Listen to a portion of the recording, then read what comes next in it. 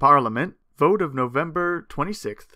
Disraeli's Budget, published by Karl Marx, December 28th, 1852. My predictions on the eventful results of the renewed party struggle in Parliament have been realized. At the opening of the session, the opposition commanded a negative majority against ministers, but the several conflicting fractions which comprise that majority have since mutually paralyzed each other. The House of Commons, on the 26th of November, when it adopted instead of the radical free trade resolution of Mr. Villiers the equivocal amendment of Lord Palmerston, offered the spectacle of universal and mutual cheating, of the general dissolution and dislocation of all the old parliamentary parties. The resolution of Mr. Villiers, which designed the Act of 1846 as wise and just, was drawn up without the knowledge of Cobden and Bright, the free traders par excellence. The Whigs have resolved to act for the interests of the free traders, without conceding to them either the initiative or any share in the government after the presumed victory. Russell, the original author of the words wise and just, so offensive to the ministry, gave his consent to the Graham Amendment. The Peelites, joined by the ministerialists, tendered a proposition which recognizes the expediency of free trade for the future and denies it in the past, leaving the Tories at liberty to compensate for the losses sustained by the act of Sir Robert Peel. The same Peelites rejected the amendment of Disraeli, and assuming their own position, prepared to support the original free trade resolution. The Whigs, on the very eve of triumph, routed by the appearance of Palmerston, who took up the amendment of Graham, and thus, with the assistance of the Peelites, secured the victory to the ministerialists. Finally, the victory itself, won by a protectionist ministry, consisted in the recognition of free trade and was opposed by none but the 53 most decided adherents of their own party. Such an imbroglio of false positions, party intrigues, parliamentary maneuvers, mutual treason, and etc., is the resume of the debate on the 26th, in which the policy of free trade was officially acknowledged but interpreted by protectionists, represented by protectionists, and carried out by protectionists. In a former letter written before the commencement of the session, I indicated already that Disraeli, after dropping himself in his electioneering speeches, the restoration of the Corn Laws intended to compensate the landlords in the shape of a tax reform, which would enable the farmers to continue to pay their old protectionist rents. By taking off the farmer's shoulders part of the present weight of taxation and imposing it on the backs of the mass of people, Disraeli flatters himself to have discovered a panacea for the suffering landlords far more available than the old precarious system of protection which speculated directly on the stomachs of the multitude. To speculate on their pockets, such is the ingenious plan of Mr. Disraeli, now revealed in his budget which on the third instance he had laid before the House of Commons, and the fate of which will probably be decided in this night's debate. It is customary with German governments and German philanthropists to talk of measures for the elevation of the laboring classes. Maßregeln zur Hebung der arbeitenden Klassen. Now, Mr. Disraeli's budget might not be improperly called a series of measures for the elevation of the idle classes. However, as the case of our German governments and philanthropists, such measures have regularly turned out mere shams. So also the plan as present contemplated by the English Chancellor of the Exchequer for the benefit of the idle classes is a plain humbug, intended to induce the farmers the more readily to pay their actual high rents by holding out to them an apparent reduction of their burdens, a delusion which he can only practice upon them by some evident real defraudation of the town population. Disraeli had for a long time mysteriously announced his budget. He had promised the world with no less than an eighth miracle his budget was to, quote, put a term to the strife of interests, to end the internecine wars between classes, to give satisfaction to all without demanding any of them, to melt the different interests in one flourishing community, to create for the first time a harmony between our commercial and financial systems by the establishment of new principles looming in the future.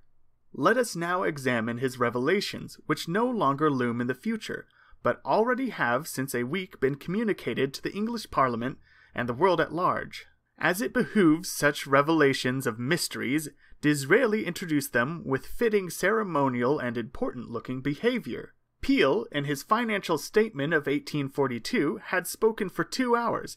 Disraeli takes no less than full five hours. One hour he dilated in showing that the suffering interests do not suffer, another one in what he did not mean to do for them, on which occasion he contradicted Walpole's, Pakington's, Malmesbury's, and his own former declarations, and the remainder of the five hours in the expose of the budget, and the sundry episodes on the conditions of Ireland, the defense of the country, prospective reforms in the administration, and other entertaining topics. The principal features of the budget are as follows. Number one, the shipping interest. A portion of the light dues is relaxed, amounting to about £100,000 per annum. This is a relief of less than sixpence per ton per annum, and cannot reach the shipping interest before the middle of the ensuing year. The charge for passing tolls is entirely to cease. Some of the powers of the Admiralty, which have given offence to the merchant navy, shall be done away with. For example, the officers of the navy, if they enlist seamen of foreign nations, are not required immediate payment of their wages.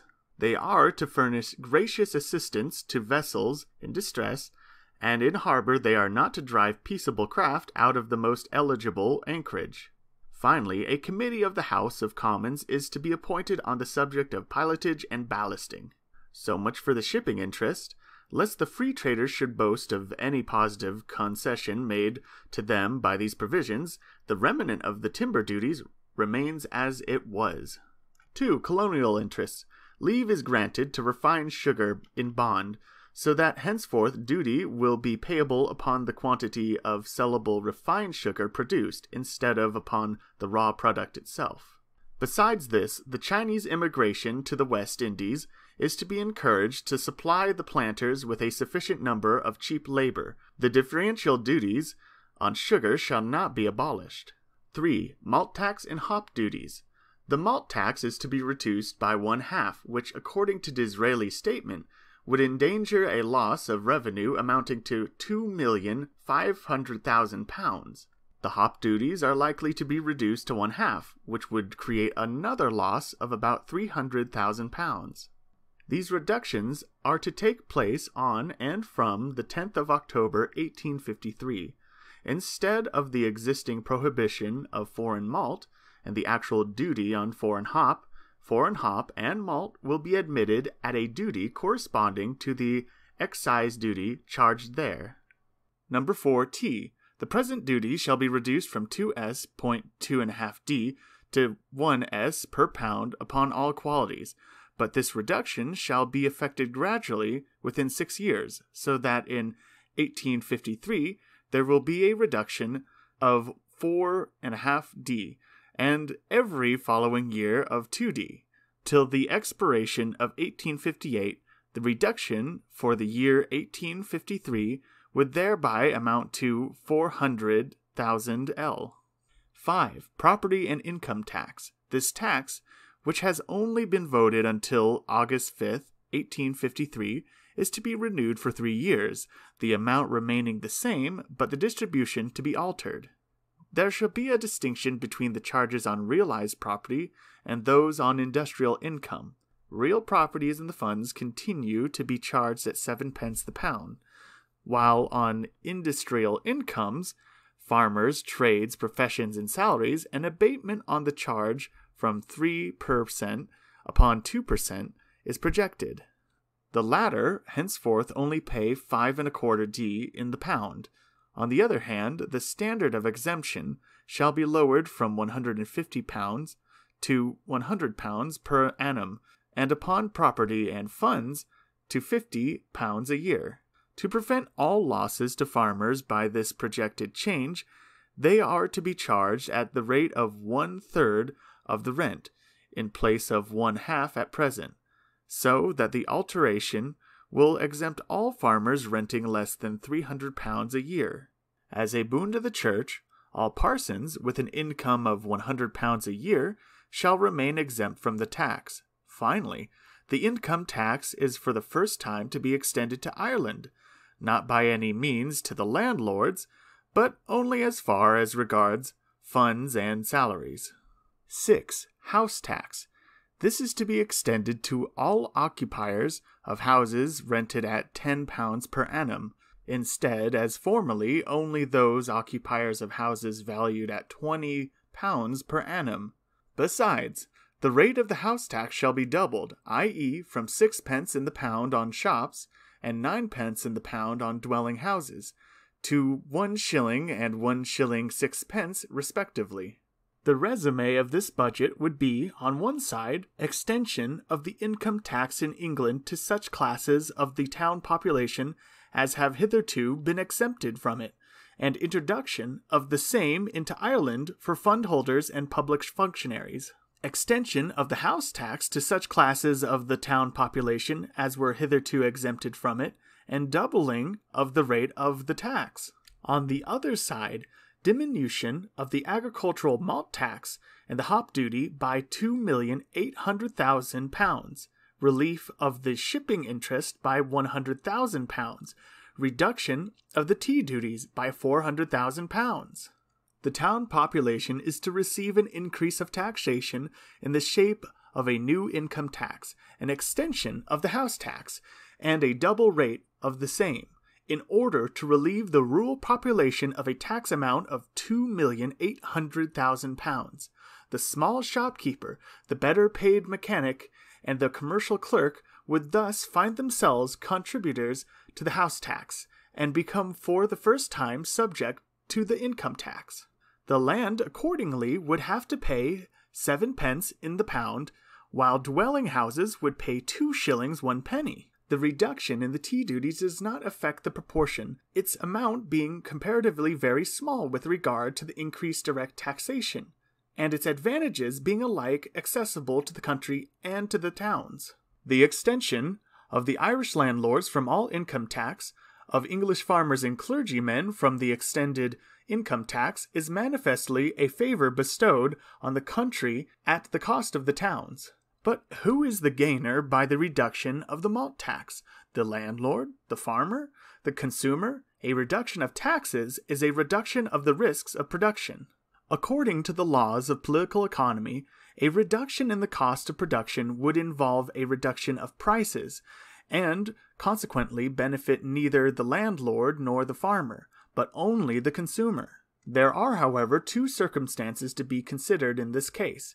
In the first place, the soil on which first rate barley can be grown is monopoly land in England and restricted to Nottinghamshire, Norfolk, etc., while the foreign supply of malt is limited by the nature of the commodity itself, neither barley nor malt being able to support long sea voyages. Secondly, large English brewers virtually possess a monopoly, chiefly supported by the present license system, so that even the abolition of the corn laws has effected no fall in the prices of porter and ale. Thus, then, the gain on the reduction of the malt tax would neither be in favor of the farmer nor the consumer, but only become divided between the landlords and the great brewers. And as the odious interference of the excise with agriculture is to be maintained, the collecting of half the sum of the former taxes would continue to absorb the same amount of administrative costs as the whole did before.